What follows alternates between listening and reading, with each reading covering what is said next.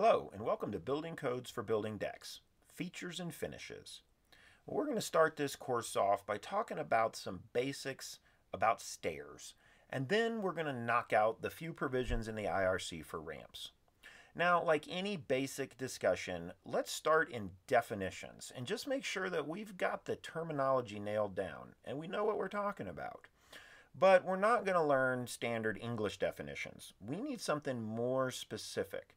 So chapter 2 of all the I codes provides the definitions for terms where it's really critical to the understanding of the code as it's intended. So the first one is really easy. It's stair. And be sure to note that the term here is stair. Now, the definition for it is a change in elevation of one or more risers. Well, if you don't know what a riser is, don't be concerned because guess what? We've got a definition.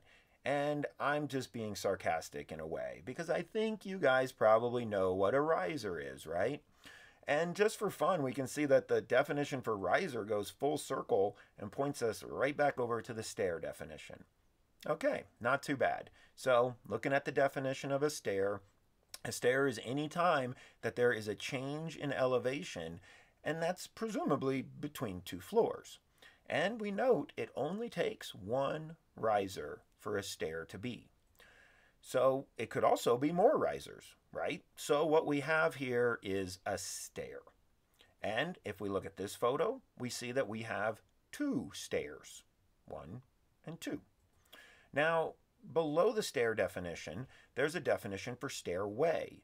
And it starts out by saying that it's one or more flights of stairs. Well, we know what a stair is, but what's a flight of them? Now, I'm not being sarcastic. We are lucky we have a definition to help us with this. We can go to the definition for flight, and let's go ahead and read this one completely.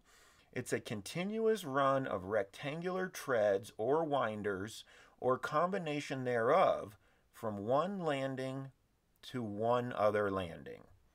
All right, so then a flight is a bunch of treads between landings, and a stair is uh, one or more risers between elevations. Well, I don't know how much this is helping us yet. Okay, let's go back to the picture. So we have a stair of one or more risers, and we have a flight of treads. Okay, so what is a flight of stairs then? Well, all right, if we go to this picture, we had two stairs. So then, does this make a flight of stairs? Well, no, that's not it. Remember, because a flight is a passageway between two landings. So what we actually have here are two flights of stairs.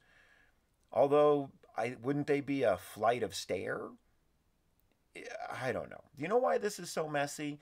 Because a lot of these words, flight of stairs, these are regular words, regular people use. And they use words like pair of pants that if you tried to put in the code and make sense of it, you might be right where we are today. So let's go back and look a little more at the definition of stairway.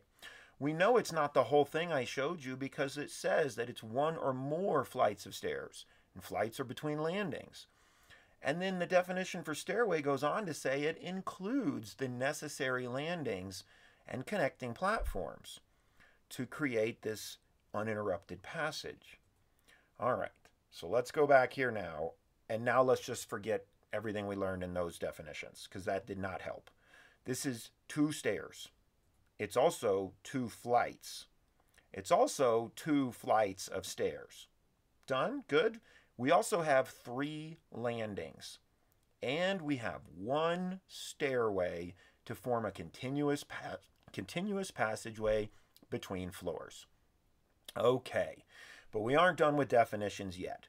Nosing is another critical one to understand, and it's going to come up throughout this course.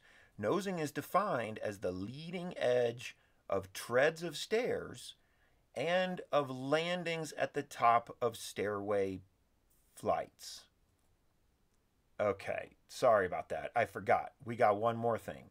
So let's go back to our picture again And let's just remind, okay, stairway. We also have two stairway flights here too.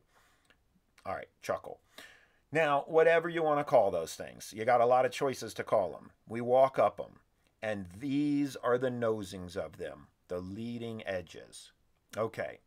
Uh, now, when we went back and we look, let's look one more time at this definitions for flight. I know I thought we were done with this, but if we see flight, we also see this other term in here, winders. So guess what we have for winder?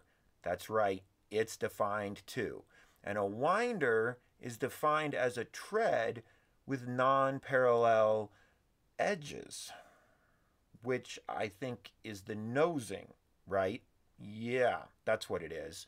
Okay, so here's an example of winders with non parallel nosing, right? Got it. And what about these? These have non parallel edges, nosings, but this isn't winders because you know what those are. Those are spiral stairs. And spiral stairs have a nice fancy definition that I'm not going to read you. You know why? Because you know what spiral stairs are. And if you have to ask if something is a spiral stair, then it's not. Okay, now with that, we are finally done with these definitions, and we're going to move on and start talking about stairs.